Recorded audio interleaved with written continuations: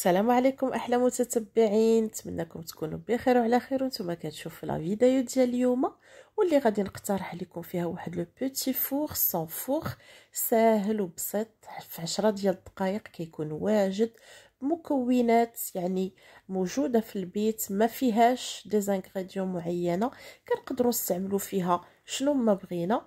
هذا هو الشكل ديالهم عن قرب كيجي هائل ولذيذ. ومثالي للضيوف ديال الغفلة لأنه تيوجد بسرعة. خليكم معايا حتى الآخر ديال la vidéo باش نشوفوا جميع التفاصيل ديال هاد le petit four ما تمشيو فين؟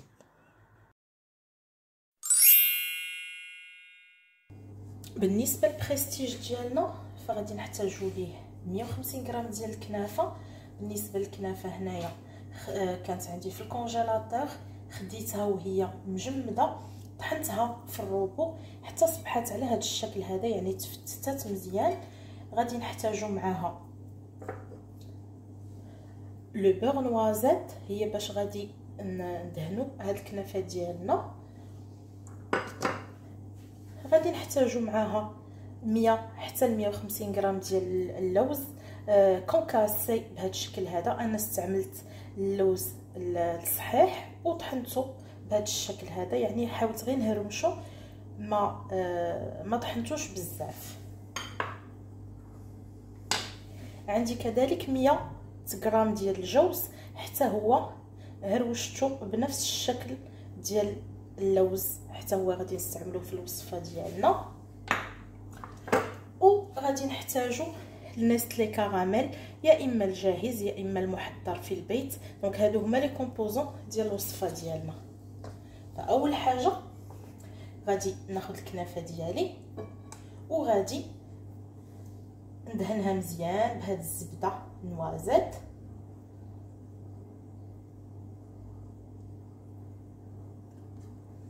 نحاول أنني نخدمها مزيان حتى تشرب ليا ديك الزبدة مزيان لأنني غادي نحتاج أنني نحمرها من بعد دونك الزبدة نوازيت أشنو هي؟ هي زبدة حيوانية اللي كنشدوها وكندوبوها على عافية اللي تكون مهيلة جدا حتى كتفقد من السوائل ديالها وكيتبدل اللون ديالها.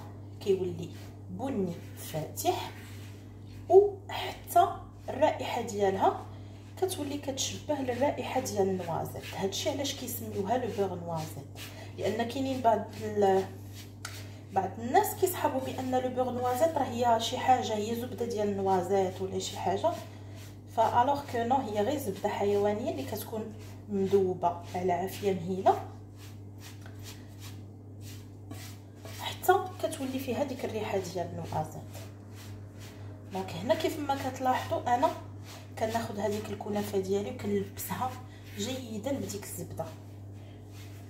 بالنسبة للكمية ديال الزبده غير محدده حتى الكميات ديال باقي les ingrédients حتى هي غير محدده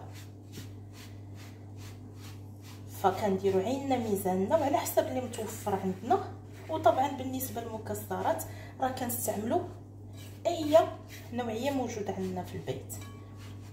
دونك هنا من بعد ما خدمت هذيك الكنافة مزيان حتى آه، دخلت فيها هذيك الزبدة هي آه، اللي مفروض أن هاد الكنافة هذه نحمروها يا إما في الفران يا إما فوق البوطة حتى كتحمر وكيتذهب اللون ديالها. نفس الشيء كنديروه مع المكسرات اللي عندنا. أنا هنا استعملت اللوز والجوز ممكن نستعملوا نوع واحد فقط. أنا ربحا للوقت فكنخلط كل شيء وكنديرو كيتحمر. العافية اللي مهيله كنبقى كنحرك فيه. كنحصل على لا كولور اللي بغيت. كيف ما قلت لكم غادي نحرك الكل جيدا وغادي نمشي نحمرو فوق البوطة حتى يتحمر ليا يتحمروا ليا كاع المكونات ونحصل على واحد la couleur dorée زوينة ونتلاقاو.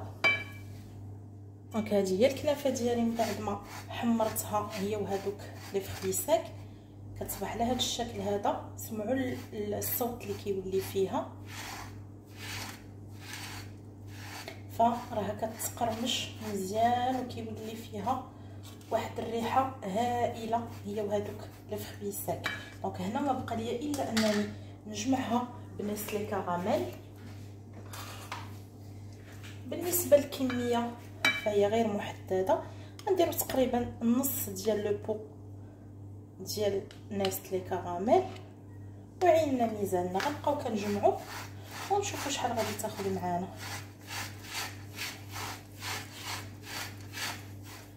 اللي زوين في هذا التيفور هذا أنه فيه كميات غير محددة.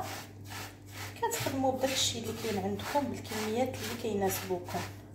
تزيدوا اولا تنقصوا كيبقى لكم كامل الحرية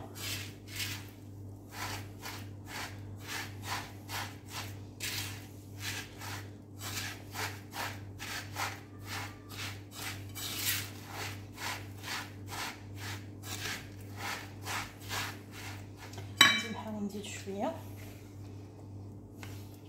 فهنا أنا كان عندي لو بو به شوية استعملت منه تقريبا الربع ديالو وبقى عندي لو غاست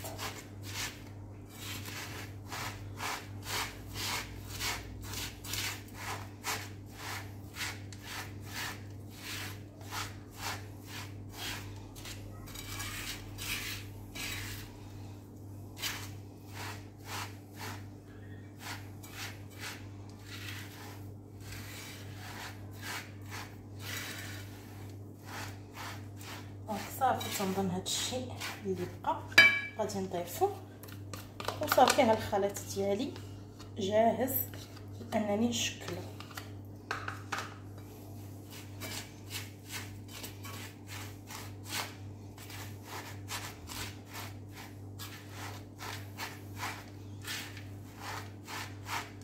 voilà. donc ها الخليط ديالي دابا واجد. donc من بعد ما جمعت الخليط ديالي بالكراميل غادي نشكلو في هذا le moule هذا ديال السيليكون اللي آه sous forme de petites bûchettes la référence ديالو هي SF 129 آه ممكن نستعملو هذا ممكن نستعملو أي شكل آخر. ممكن نستعملو حتى هذا الشكل هذا. هذا الشكل هذا آه la référence ديالو هي دي مية. حتى هو كيعطينا نفس la forme أنا غادي نستعمل هذا. الطريقة جد سهلة. كناخذ كمية ديال هاد ال هاد الخليط هذا وغادي نضغطها في le moule ال silicone.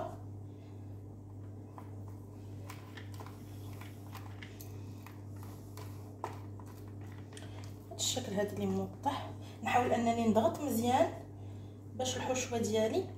تاخذ la forme ديال ال moule. donc غادي نكمل أنا بنفس الكيفية.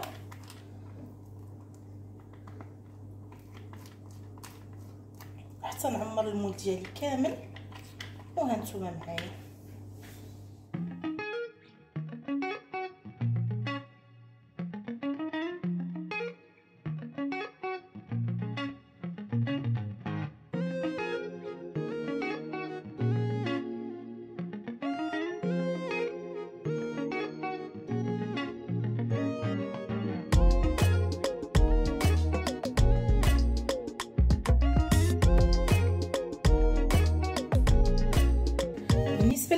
اللي بقات عندي غادي نديرها في un autre moule اختاريت هذا الشكل هذا اللي مربح.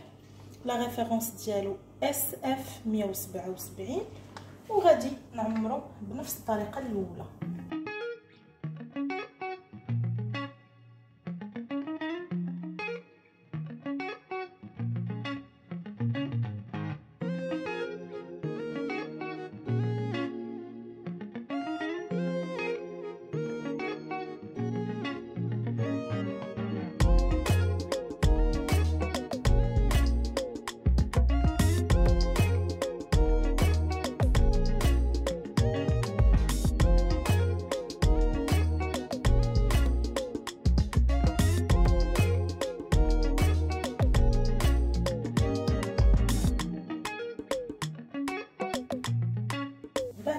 ديالي حتى هو غادي نحطوه بنفس الطريقة.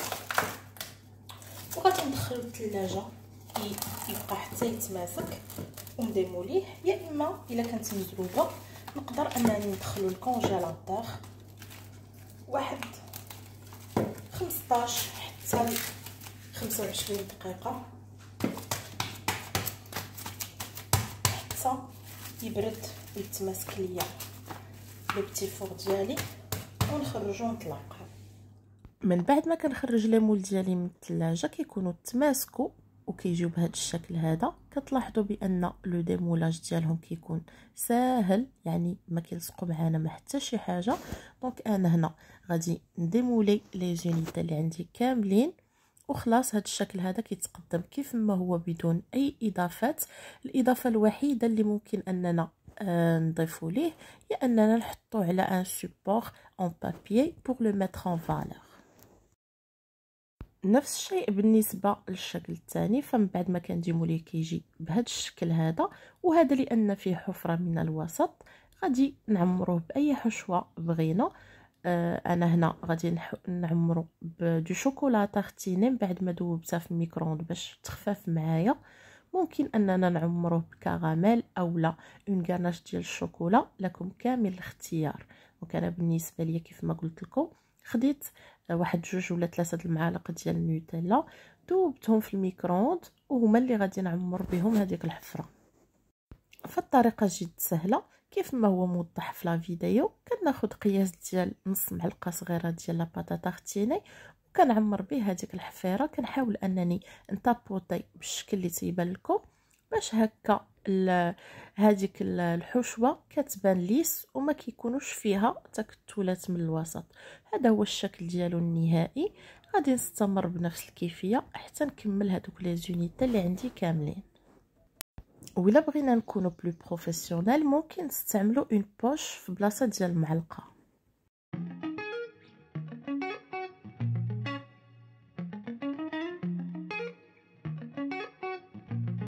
كان هذا هو الشكل النهائي ديال les petits fours ديالنا.